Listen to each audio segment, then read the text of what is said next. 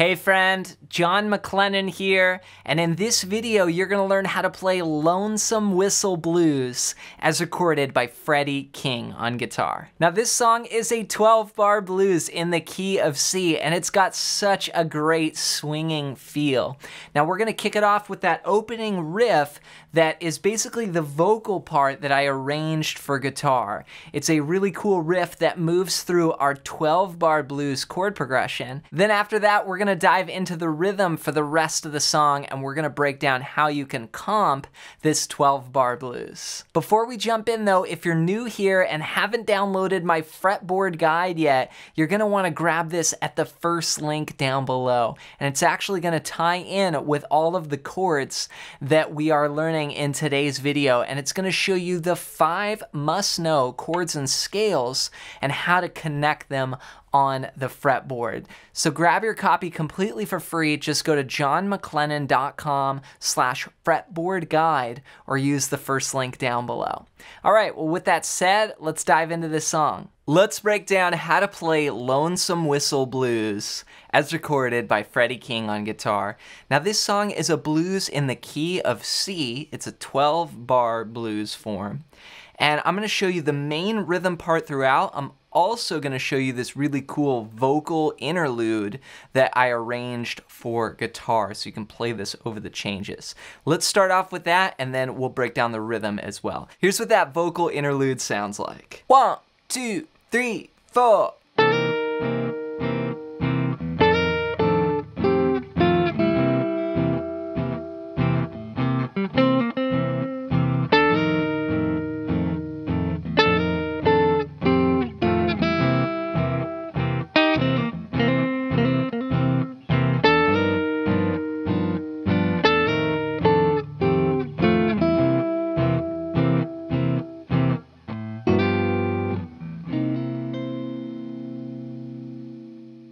All right, so this is a guitar part basically of those oohs you hear at the top of the track.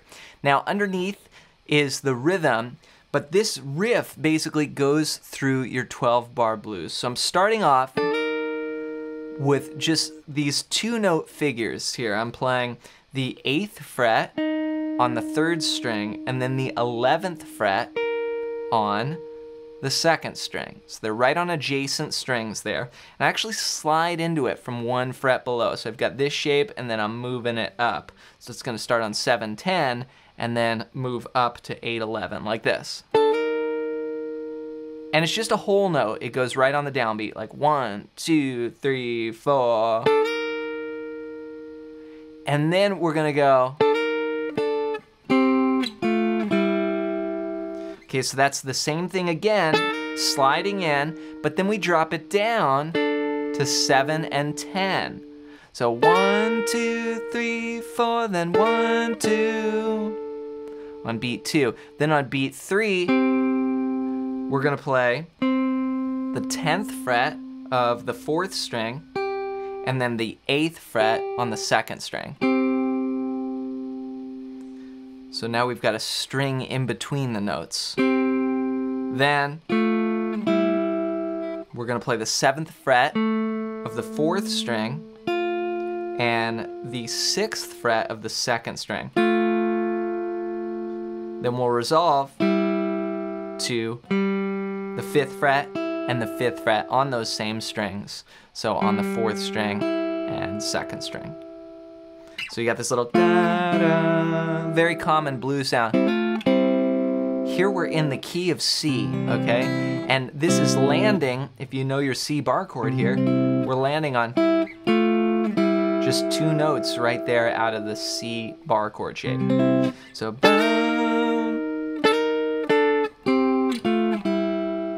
and the rhythm is one, two, three, four, one, two, three, four, and so they're all, in the second measure, they're all quarter notes except for the last beat. So one, two, three, then four, and so those are quicker.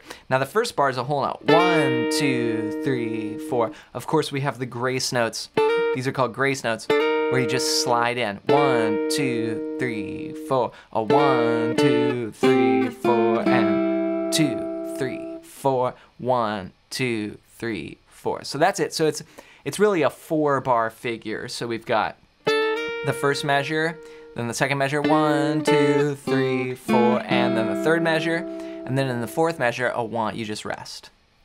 Okay, so this, if it's four bars long and your 12 bar blues is 12 bars total, we're gonna play this three times over the 12 bar blues.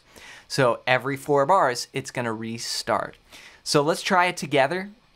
We're gonna start with that slide and we'll go through the blues form. Now I'm gonna bring in the chords here with a looper pedal and this is playing the rhythm that I'm gonna explain next so you'll have both parts. Here we go, a one, two, three, four.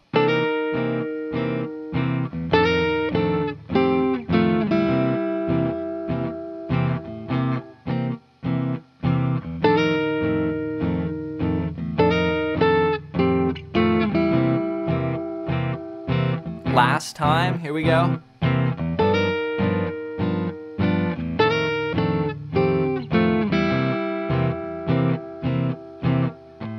Gonna end on C, you know. So that's the vocal interlude. So from there we go into the rhythm and that's where Freddie comes in singing Packed Up and Left Me and we've got 12 bar blues rhythm here. So that's gonna go like this. A one, two, three, four.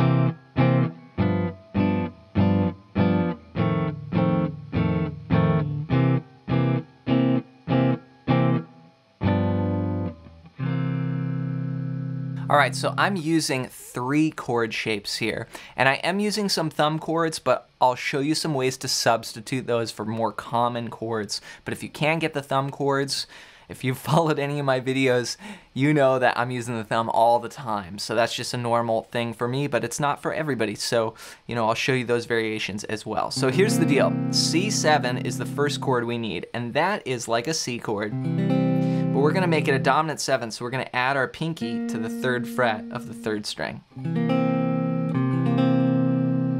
Now, I'm not playing any open strings with that. You could play the high E, but I think it sounds good for what I call this just swinging Freddie Green rhythm where you're just going one, two, three, four, and you're playing quarter notes. And I'm, I'm releasing the pressure here. I don't really want any open strings because I can control the chord this way. From there, we're gonna go to F7. Now the chord that I play is my thumb on the low E, and then I make, it looks like a D chord, right? Like this, but it's just shifted over here. I'm on the fourth string, one, two, one. So that's what I'm playing, no open strings. Now you could play easier version, uh, you know, if you're not using the thumb. To me, it's actually harder to do this, but, but this would be just your typical F7 bar chord, you know, one, three, one, two, one, one. So you could use that or I use this. Now, for the last chord, G7, you just bring it up two frets. And I just bring the thumb chord up two frets like this. So it's the same concept, you know, whether you're using this or this. So in the first four bars, we're gonna play one bar of C, then go to one bar of F, then back to two bars of C. This is a very common blues chord progression. These are things that I teach in my Essential Blues Guitar System course. You know, this is something called a quick four chord. Where you go from C to F and then back to C. You know, we're in the key of C, so this would be the one chord to the four chord, back to the one chord. Then we go to F for two bars, then back to C7, two bars. Okay, mm-hmm. that's the first eight. Now the last four bars, we're gonna go G7 for one bar, then F7 for one bar, then C7 for one bar. So the chords are moving a little quicker there. Then in the last bar, we have two chords. We go one and two, and we go C to G7. All right, so let's put all that together. A one, two, ready, play. C to F, back to C. go to mm. F. Back to C. G7, F7, C7, and we'll do the quick G here, one and two, and, and on C. So that first part is a great example of just taking a riff through the blues. You'll notice how the vocal interlude, that riff there stays the same, but the chords move. So no matter what chord you're on, you're still playing that same riff, which is something you see in a lot of blues tunes. Then from there, you go into just what I actually call a Freddie Green style rhythm, not Freddie King, but Freddie Green, which is just a straight four kind of comping rhythm that you can use for tons of blues songs. So be sure to rewind the video and go over any parts that are unclear. And to help you even more, make sure to pick up my ultimate fretboard guide at the first link down below. And this is gonna show you the five chords and scales that I use to map out the entire fretboard. And it's so useful. I wanna give it to you completely for free. Just go to jonmaclennan.com slash fretboard guide or use the first link down below. Next, I want to hear from you. Leave a comment down below and let me know what your number one struggle with guitar is right now. Just comment it down below so I can make some future videos here on the channel helping you out. As always, thanks for your support with the videos and we'll see you in another one real soon.